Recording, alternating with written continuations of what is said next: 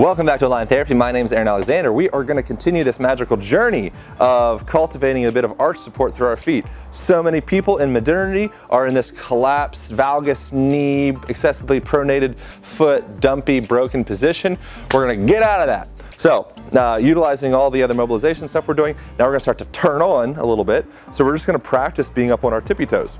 So you're just gonna start off, literally you can just start walking around on your tippy toes and get comfortable with that balance, balancing back and forth, really feeling that connection like you're a beautiful ballerina. It's a very pleasant experience. Um, and then you, next thing you can play with is starting to come down into a lunge position with this. So we're lunging on our tippy toes. You could take it a step up and bring your arms up overhead and come down. As you're going down into that position, I want you to keep your weight driving stacked all the way from your head straight down to your anus.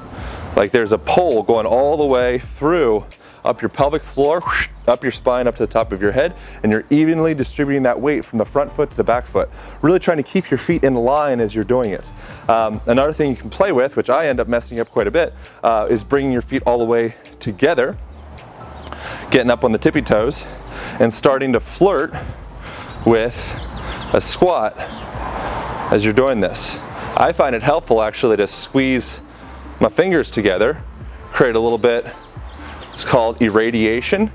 Okay, so if we engage our whole body, we end up actually, so example, you can squeeze your hands really tight and you'll start to feel your, yourself be able to recruit more motor units or actually turn your musculature on in a greater capacity just through squeezing a bit tighter. So as we're going through these movements, really focus on winding that system up and then also being really practiced with disengaging and relaxing. So we want to go both sides of the spectrum. It's a pendulum.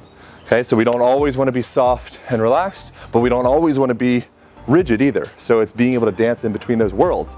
That's what we got. Start integrating that same conversation into your feet and you'll be moving well. Thank you so much.